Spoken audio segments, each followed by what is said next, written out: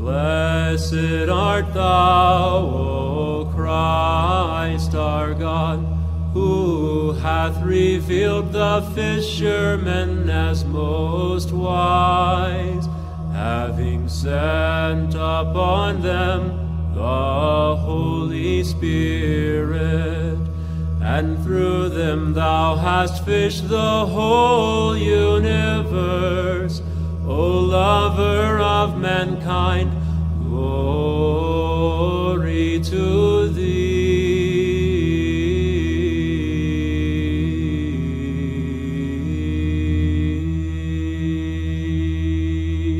In the name of the Father, Son, and Holy Spirit. Glory be to Jesus Christ. Glory forever. Well, today we celebrate uh, Holy Pentecost. Uh, uh, we have come through a long journey from Pascha, and now we have the fulfillment of all, of all the work now. Uh, the Lord came and He uh, died on the cross for us, the Redeemer of the world, and now uh, He got His uh, apostles together and says, I will ascend into heaven. And then He wanted them to wait 10 days in Jerusalem until the Father, He would ask the Father to send the Holy Spirit. So, the, in obedience, the apostles tarried in Jerusalem until the Holy Spirit came. Now, the Lord warned them about the Spirit coming, but He didn't give them all the details of the, of, the, of the procession of the Holy Spirit. And so, they're all gathered in obedience in the upper room, and then as a mighty rushing wind, we know the story uh, of the uh, Holy Spirit coming upon the apostles.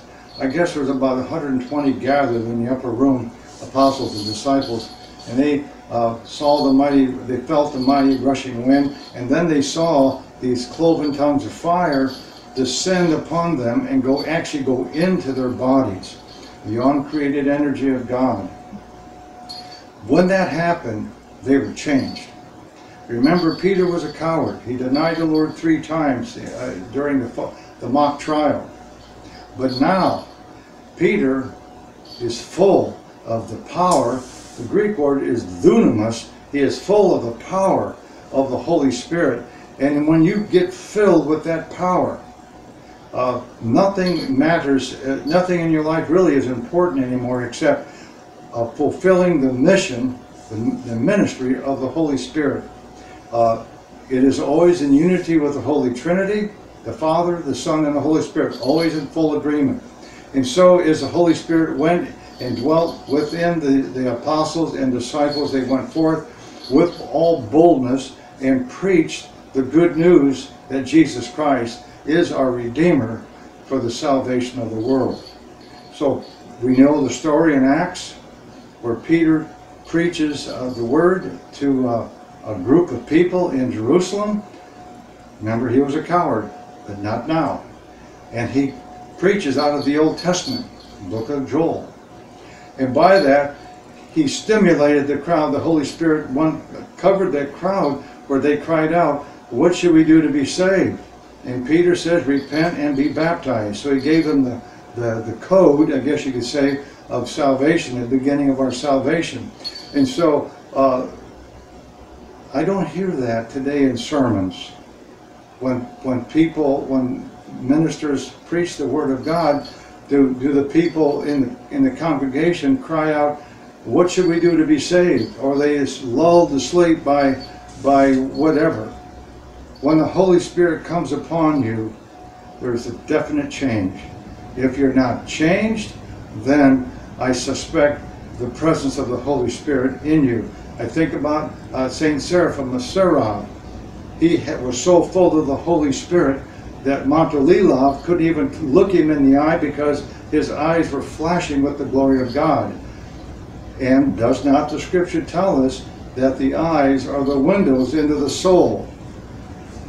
Some people don't want to look you in the eye, and that's a, that's a, that's a concern to me, because like uh, having eye contact, that you actually can look into that person's soul, and maybe maybe by the presence of the Holy Spirit in your temple, that your eyes are illuminated differently than one who does not have the Holy Spirit.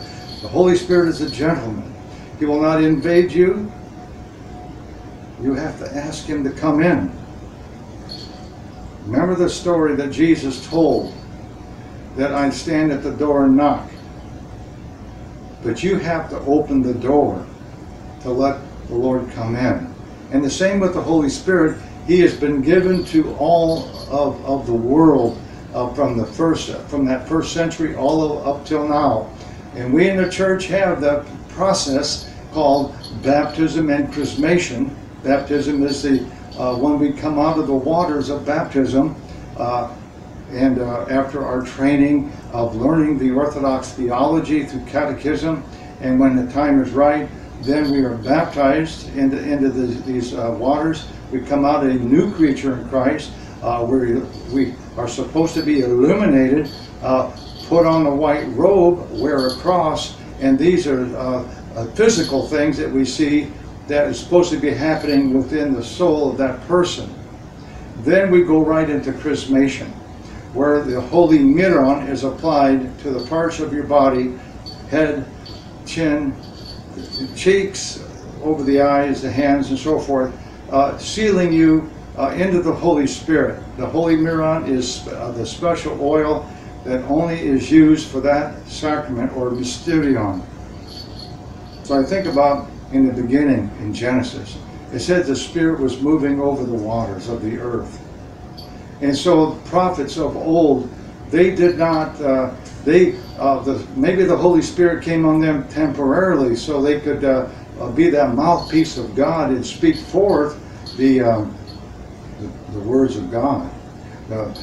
and, and so they could be the mouthpiece to tell the people of Israel uh, what God is doing and what they're supposed to be doing, whether to go here or go there, or repent and wear sackcloth and roll around in ashes. It all depends uh, what the Spirit uh, moved the prophets uh, of old to say.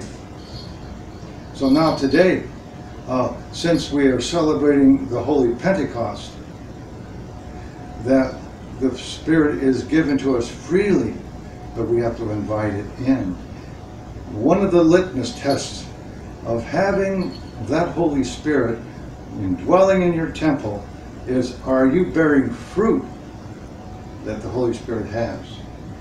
Trees bear fruit. And at a certain time, we're able to pick the fruit from the trees or the bushes, but we can't do it when it's not mature.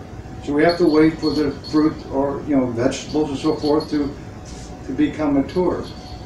The same with the Holy Spirit in us. When we are chrismated, we get all of the Holy Spirit, but the Holy Spirit does not get all of us. So that's that process we call in the church theosis, where we become, uh, through our desire, our heart's desire, become more like Jesus Christ. And then as we become more like Jesus Christ, uh, the Father loved His Son, the Father loves you. He says, I will bless those who bless me, saith the Lord. And it says repentance is the means of salvation. So without repentance, there is no salvation.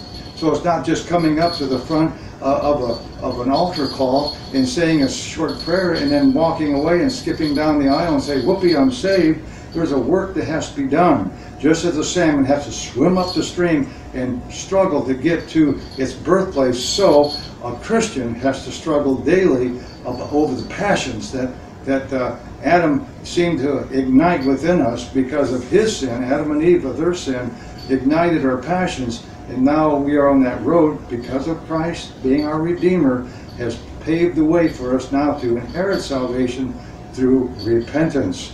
So look at yourself. Uh, is the fruit of the Holy Spirit immature or maturing in you? Are, are, are other people allowed to pick your fruit? That sounds kind of weird, but think about it love, joy, peace, patience, long suffering. You know, you know the list. There's about nine uh, fruits of the Holy Spirit, and these are supposed to be increasing within each one of us as we surrender our will unto the will of God. As we start to, to march in cadence, as the military would say, the left and the right, stepping left, right, left, right. We're in cadence. So God wants us in cadence with the Holy Spirit. He will lead us into all truth. If you do not have the Holy Spirit, you need it. It's been given to us freely.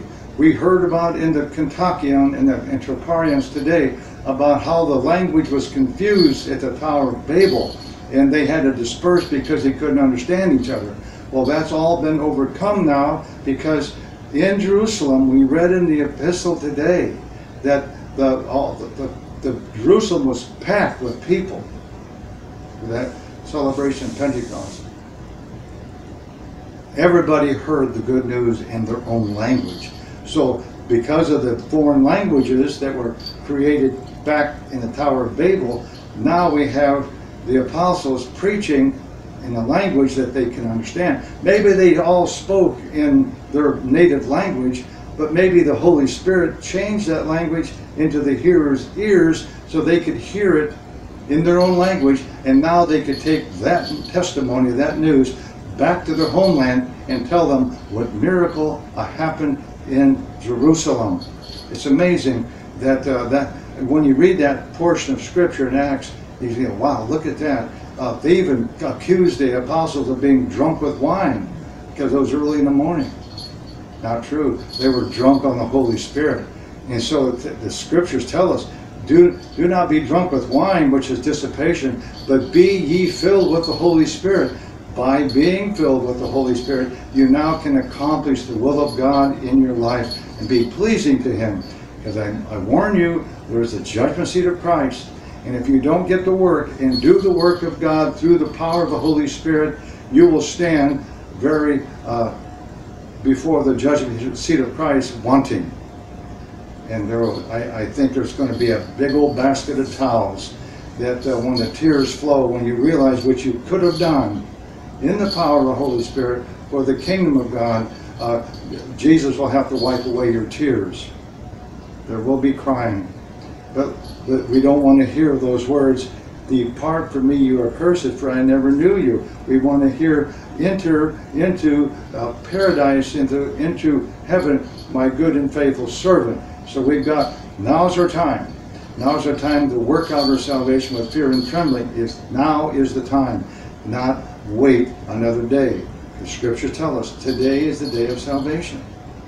Don't waste it. Every heartbeat, every every moment of the day uh, you have the opportunity to repent and fulfill the will of God in your life through the power of the Holy Spirit. And that is my encouragement to me and to you all today on this holy day of Pentecost. In the name of the Father, and the Son, and the Holy Spirit, glory be to Jesus Christ. Glory forever.